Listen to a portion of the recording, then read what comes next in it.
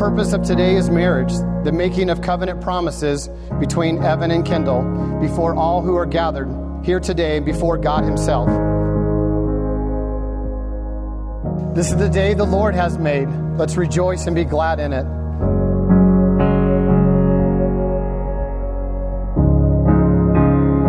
Evan, love your wife just as Christ loved the church and give himself up for her. Evan, this passage certainly calls you to a high level of service. You even took it to the next level, becoming a police officer and serving at a really high level. But this verse says that you can love your wife best when you serve her and go all out in your love for Kendyl and give of yourself completely to her. Wives, submit yourself to your own husbands as you do to the Lord. For the husband is the head of the wife, just as Christ is head of the church.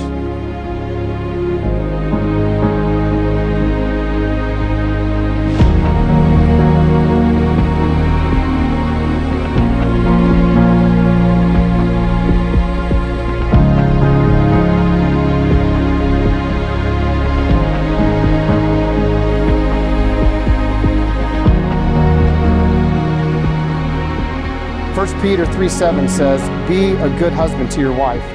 Honor her, delight in her. In the new life of God's grace, you are equals. Treat your wife as equal so your prayers don't run aground.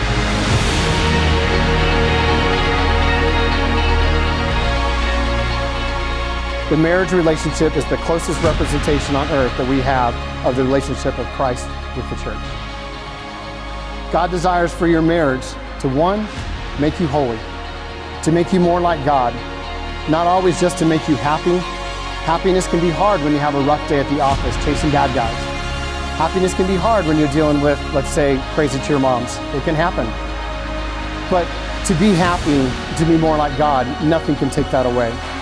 To be a witness to the world by showing God's love and faithfulness.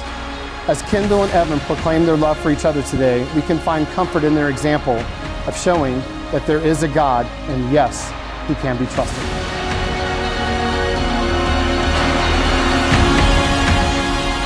By the authority given to me by the state of North Carolina, I now pronounce you husband and wife in the name of the Father, Son, and the Holy Spirit. What God has joined together, may no one separate. Are y'all ready? Five, six, seven, eight. Evan, you may kiss your beautiful bride.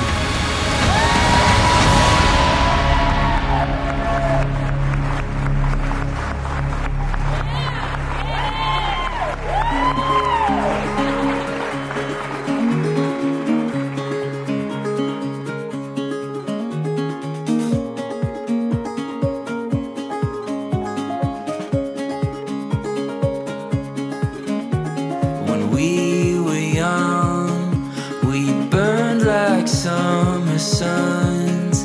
Our fears at bay, we made our own way, no stopping us.